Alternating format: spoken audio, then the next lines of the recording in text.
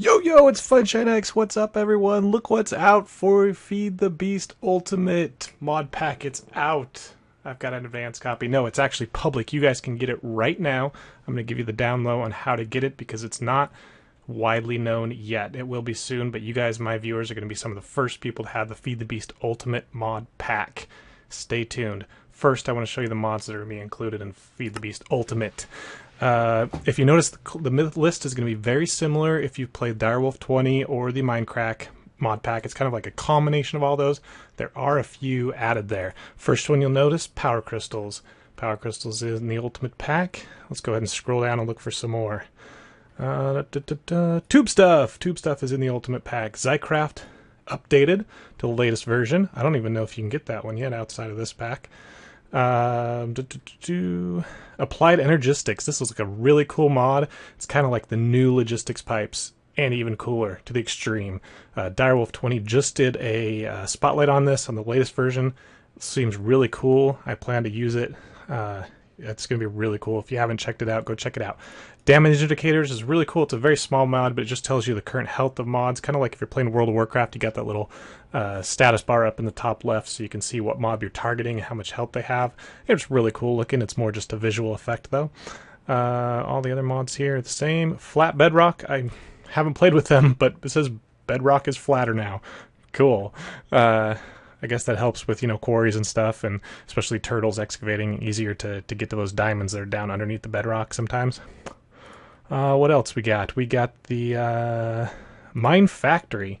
Um, I haven't seen this for a long time. I remember watching it a very long time ago. Um, I'm not sure if it's you know what what's in it in the newest versions. It says 146, so uh, I guess it's been updated. So I have to go check that out and see what's in there.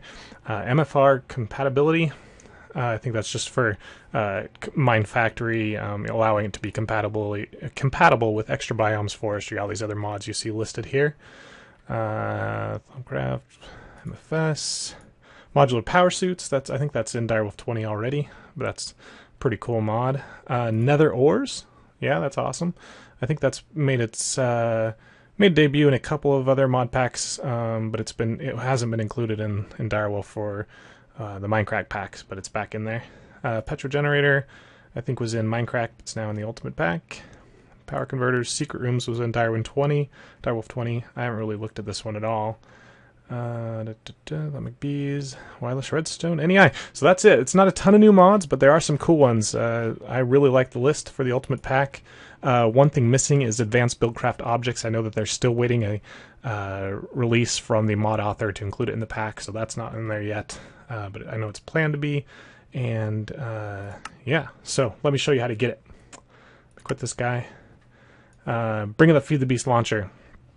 Go ahead and uh, yeah, grab that guy, and uh, you're gonna go into mod packs, and you'll see mine shows Feed the Beast Ultimate Pack. Yours probably doesn't. Show you how to get it. Go ahead and go over to private packs.